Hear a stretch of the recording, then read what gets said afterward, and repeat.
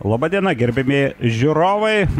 29-asis OptiBeta lygos turas ir šiandien mes su jumis susitinkame Kaune, LF treniruočio centro stadione, kur netrukus prasidės OptiBet A lygos 29 turo rungtynės. Gavė. Į kairę, Lepšinas baudos aikštelį, geras perdavimas, na ar bus smūgis. Užmėgti kovą aikštės viduryje, organizuoja atakas, tiesa dabar charakteringas kol kas šios dienos rungtynėm. Tiesa, dabar dar palaukime, perimtas kamuolys, geras perdamas, smūgis. Ir labai gerai Lepšinas įmeta kamuolį Matulevičiui. Pastarasis prie baudos aikštelės, perdavimas link tolimo virso, smūgis ir 1-0.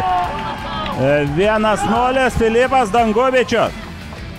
Ir viskas prasidėjo, sakykime taip.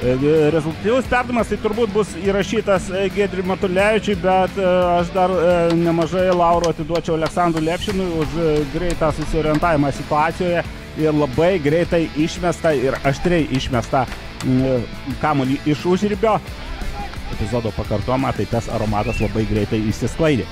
Bet atakuoja, atakuoja. Bet išsipelio Gėdris Zenkevičius, aišku, kiekvienas dirba savo darbą. O čia dar vienas pavojingas epizodas.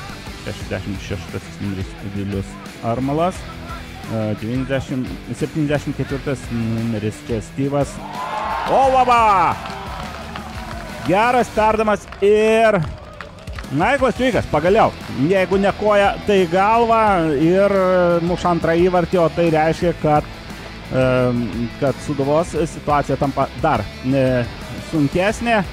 Na, vardinau žaidėjus, netgi šiek tiek, šiek tiek nepamačiau atakos pradžios, bet čia aišku Viliaus Armalo klaidos nepadarė. Mikrūnas. Vosibikanas. Gerai pramestas kamuolys Fedorovas. Greitas žaidėjas. Perdamas į baudos aikštelę ir labai saugoti kamolį, tačiau iki galo tas triukas jam nepavyko Losibikano. Dar vienas bandymas įsivežti į baudos aikštelę. Gražus permas, kajodės smūgis ir dabar jau Vincentas Šarkauskas. Ką? Nieko nuo nepadarys. Taip, Aidė. Aidė finalinis rungtynių švilpukas. Kauno rajono Hegelman pelnytas. Tyčiau nugalėjo ir patvirtinami tendencijas